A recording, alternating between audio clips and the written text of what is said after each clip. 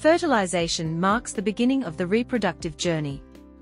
It occurs when a sperm cell, released during ejaculation, successfully penetrates and fuses with an egg ovum in the fallopian tube.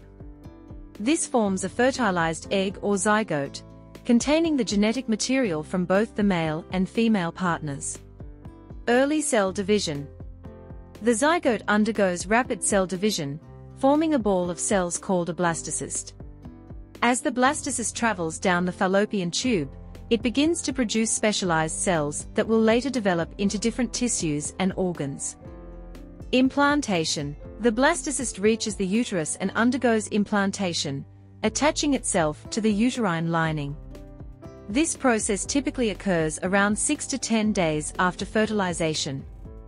Once implanted, the cells continue to divide and differentiate. Embryonic development. The developing organism is now referred to as an embryo. Over the next weeks, the embryo cells continue to specialize, forming the three germ layers that give rise to different bodily structures.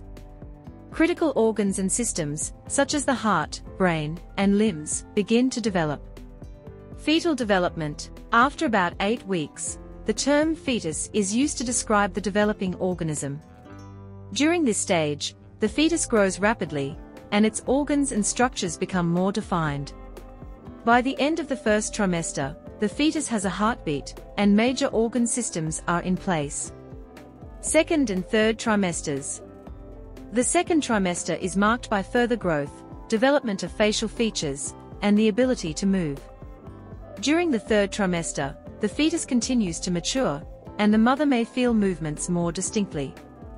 The baby gains weight, and the body prepares for childbirth.